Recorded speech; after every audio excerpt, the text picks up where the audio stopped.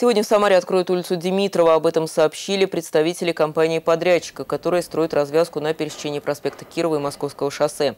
Сейчас на объекте работы идут согласно графику. Осталось смонтировать последнюю секцию северной рампы, иными словами, железобетонного каркаса входа в тоннель. Через неделю приступят к южной, на противоположной стороне проспекта Кирова.